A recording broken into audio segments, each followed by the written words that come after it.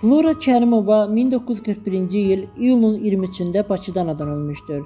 Əslən anası Zümrüd xanım Şuşalı, atası Ələkbər bəy isə Qəbələdəndir.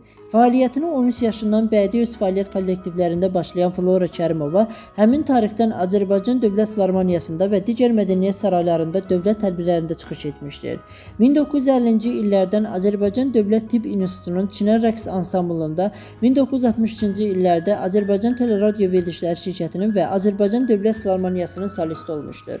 1964-cü ildə Asef Zeynallı adına Azərbaycan Dövlət Musiqi Texnikumunu, indiki Azərbaycan Milli Konservatoriyasının nəzdində musiqi kollecini bitirmişdir. 1971-ci ildə Azərbaycan Dövlət Tibb İnstitutu müalicə işi üzrə tam kursunu bitirmiş, həkim ixtisasına yiyələnmişdir. 1977-ci ildə Bakı Musiqi Akademiyasında vokal sinifini bitirmişdir.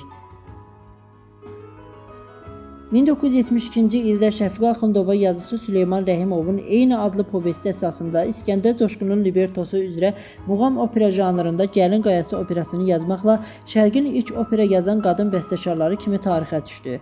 Adı gedən operanın ilk radio tamaşası qoyduqda ilk ifasısı Rübabə Muradova, Sənəm vokal Flora Kərimova Gülbahar rollarında iştirak edir. Operadan Gülbaharın könüllü təranələri adlı mahnısı çox məşhur olur. Azərbaycan sənətkarlarından ilk dəfə olaraq Flora Kərimova 1993-1994-cü illərdə Türkiyədə geniş konsert proqramları ilə çıxış edərək Türkiyənin ən prestijli e, musiqi proqramlarının qonağı olmuşdur. Hətta Türkiyənin ən əsas musiqi təqdimat verilişində ilin e, mahnısı qonaq olmuşdur. O verilişdə adətən Türkiyənin ən öndə olan sənətkarları çıxış edirdi.